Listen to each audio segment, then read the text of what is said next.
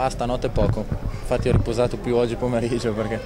stanotte ho avuto un po' di difficoltà nel prendere sonno perché è stata una chiamata che nessuno si aspettava, io, io compreso, quindi mm, no, ma non, non, mi, non, mi, sfiorava proprio il pensiero, invece ho saputo da Sky, ho sentito portieri, Buffon, Padelli e ho chiesto a Gilles se, era, se avevo sentito bene, quindi poi mi ha confermato anche lui e, e alla fine ho capito. Dai. Non lo so, non lo so, forse perché col Torino proviamo a giocare tanto coi piedi, partire da dietro e un po' era quello che faceva con la Juve, non, non lo so, io adesso non, non, non, ci penso, quello che ha visto l'avrà visto lui e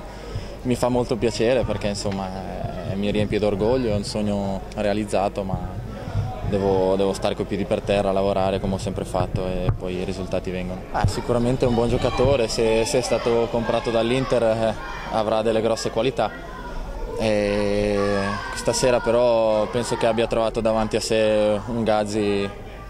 in, forma, in formato mondiale, insomma, ha fatto una partita spettacolare, infatti devo fargli complimenti. Eh, comunque l'Inter è un'ottima squadra e sono contento perché il Torino se l'è giocata alla pari. Un buon punto contro l'Inter, però c'è un po' l'amaro in bocca, viste le tante occasioni avute, il rigore sbagliato per non essere riusciti a vincerla. Sì, forse abbiamo sbagliato qualcosa negli ultimi metri, però l'importante a questo punto del campionato, visto che è la prima partita,